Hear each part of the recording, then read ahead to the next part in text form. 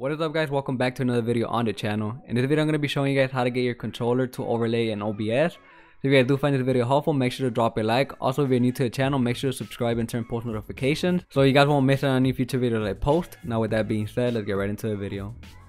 Alright guys, so the first thing you want to do is go to gamepadviewer.com. I'm going to leave the link in the description.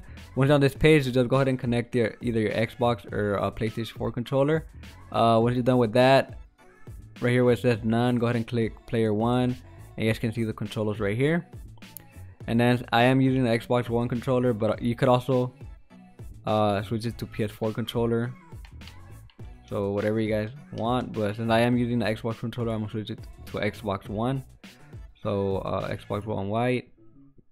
And then if you guys want you could uh, change the background. Uh, it's really not gonna affect uh, what happens in OBS if you change the background but I mean if you want to change the background you could go ahead and do that uh, but um, but yeah, once you're done with all that, uh, just go ahead and click up here, and go to generate URL, and then right here, you know, you have player one for the skin. It's Xbox One White, so that's the one I'm using. And just go ahead and copy this URL up here, exit out, and go back to OBS. And then under sources, you're gonna want to right click, add browser, and then you guys can name it whatever you guys want. I'm gonna go ahead and name it controller. Click OK. And then now what you want to do is go ahead and uh, paste the URL that you copied. And then just go ahead and click OK.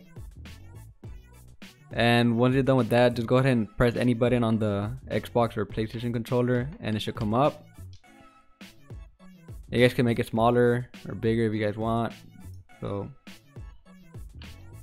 guys can see any button I press is pressing it as well. And yeah guys, that's how you get a controller overlay in OBS. Hopefully you guys did find this video helpful. If you guys did, make sure to drop a like. Also, if you're new to the channel, make sure to subscribe. Thanks for watching, and I'll see you guys in the next one.